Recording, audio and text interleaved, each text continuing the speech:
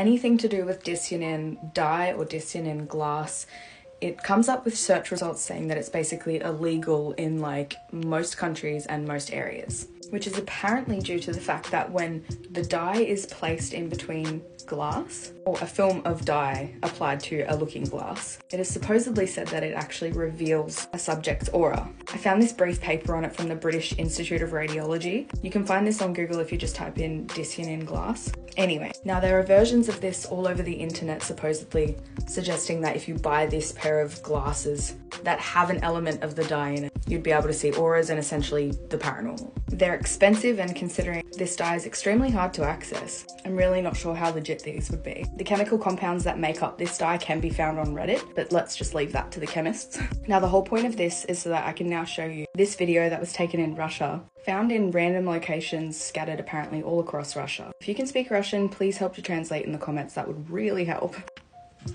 Еще, короче, целый час там простоял. Нифига. Нифига больше не, не увидел.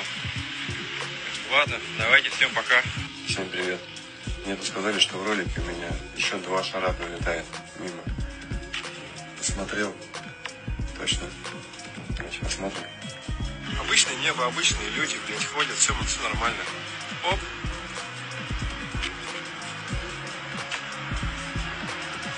Вот такая. Вот они. Вот они, два шара. Тарелочка и два шара.